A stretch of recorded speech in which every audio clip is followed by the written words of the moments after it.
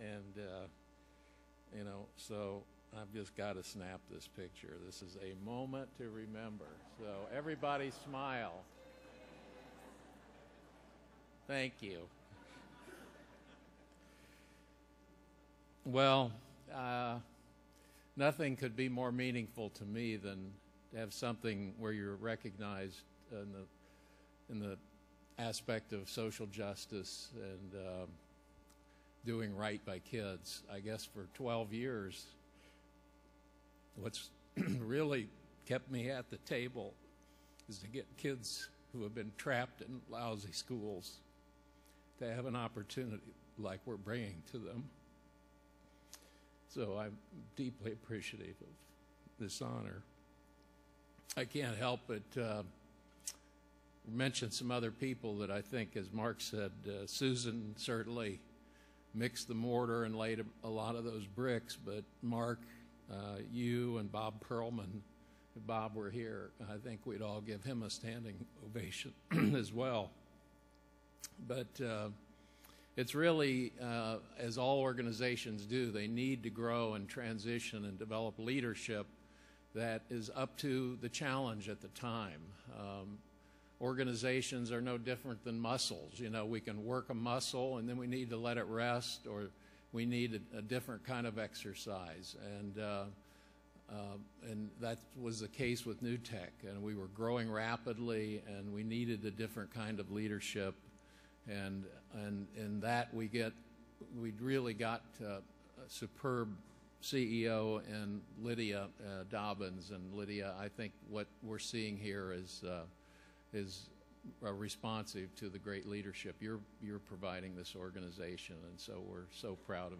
Of you and your team and the whole New Tech team. And when I say Lydia, I'm really speaking of the team that she's put together. So thank you to everybody on the New Tech team is providing that, that day in and day out lifting of uh, what needs to be done. So I also want to recognize, uh, as uh, I was just saying, organizations need leadership for new times and new challenges. And um, the KnowledgeWorks Board and I began talking about a transition process a couple of years ago, and, and uh, this July the 1st. Uh, Brian Ross was named CEO of KnowledgeWorks Foundation, and I just really want to publicly say how terrific I think uh, this is for KnowledgeWorks, for the New Tech Network, and, uh, and for the country, because Brian shares the belief and the passion that we all have in this room. So, Brian, will you join me in welcoming Brian to this role, too?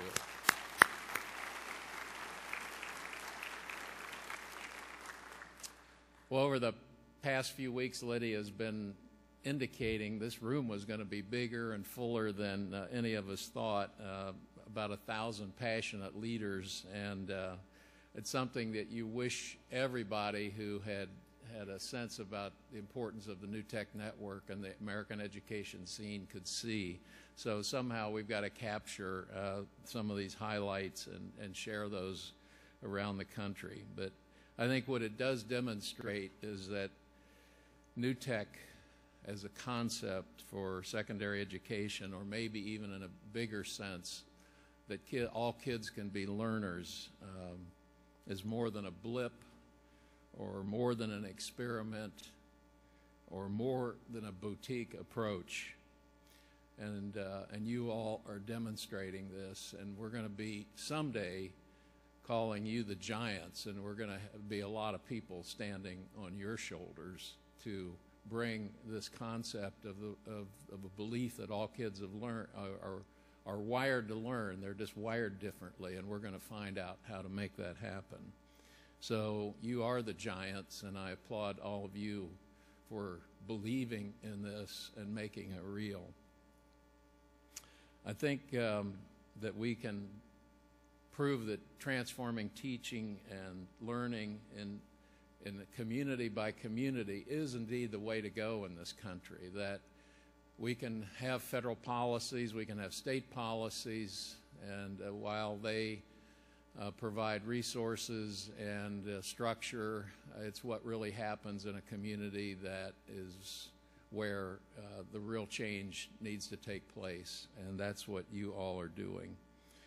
Um, it was about two and a half years ago that I traveled to Indiana uh, for a meeting with Governor Mitch Daniels, and uh, Dave Dressler was there. And I also really should mention Dave and Nancy Sutton because I think of them also as being really having their hands in the bricks and mortar um, at the very beginning. So thank you.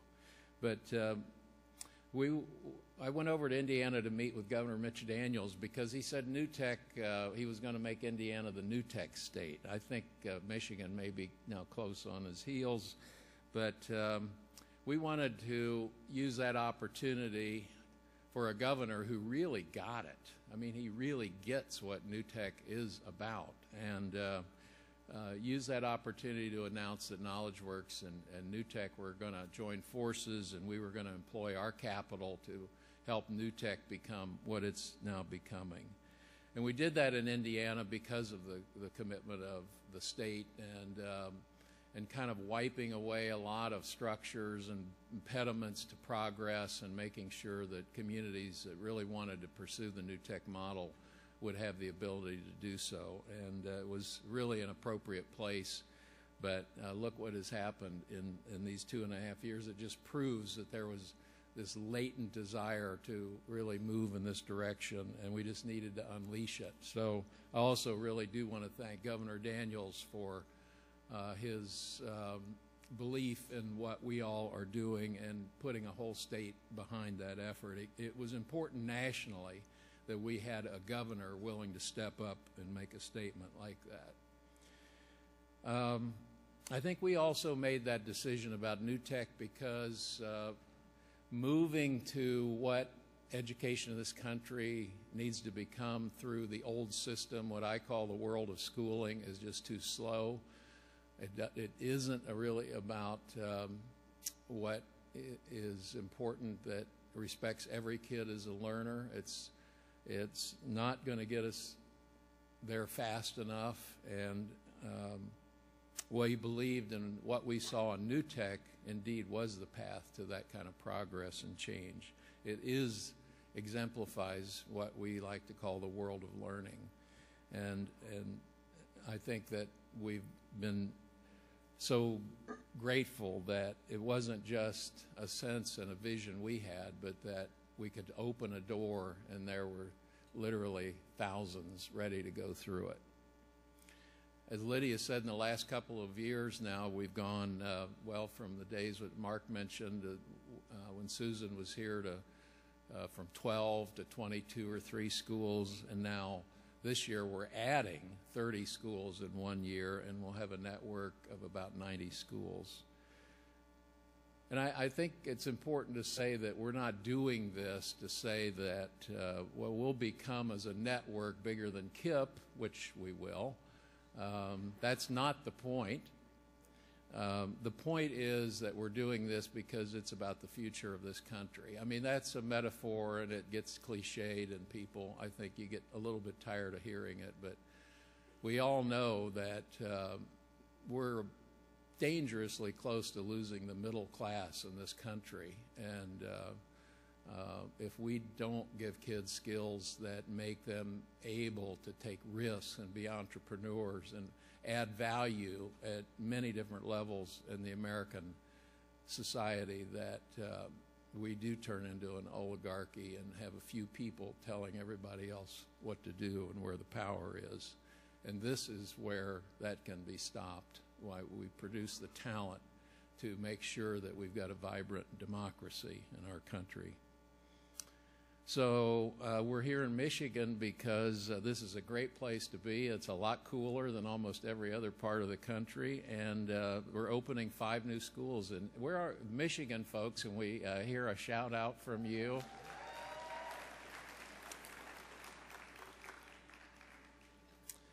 Well, that is great, but now let's get to, and we thank you, and we we're going to see a lot more. Um,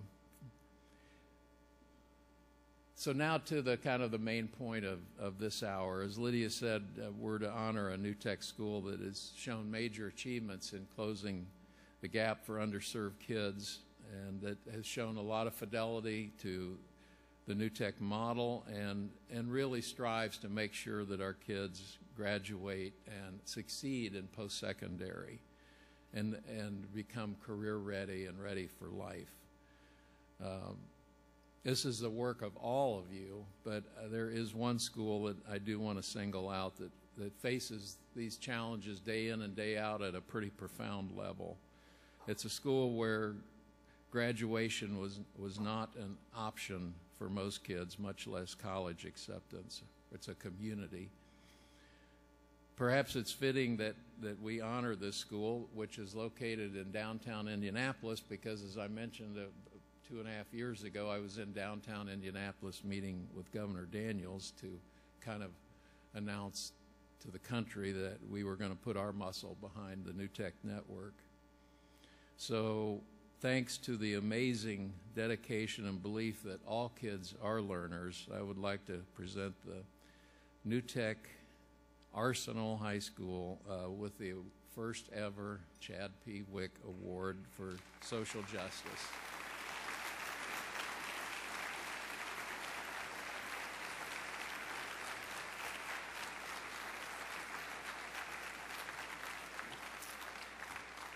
And here to accept the award is Scott DeFries. And Scott, not only is this a nice award uh, that is something that you can cherish, but uh, there is also, uh, we're going to uh, waive your school's annual network continuation fees for the next year. And thanks uh, to Toshiba Toshiba wanted to be part of this and are generate, generously donating a Portégé laptop computer valued at $1,400 to Scott personally. Yeah. So congratulations, Scott, and I hope you feel Thank you.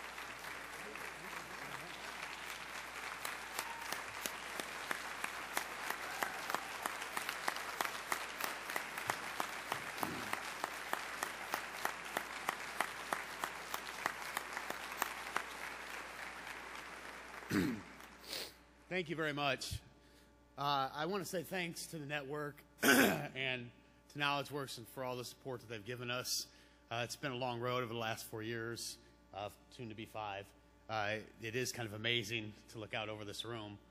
And I want to thank all of the coaches that spent so much time with us and help my teachers and the staff that I have uh, become the crew that they are. Those of you who've, excuse me, those of you who visited my school know um, how outstanding they are. And that's really the folks that earn this award. And I really appreciate everything that they've done and all the support that you've given me.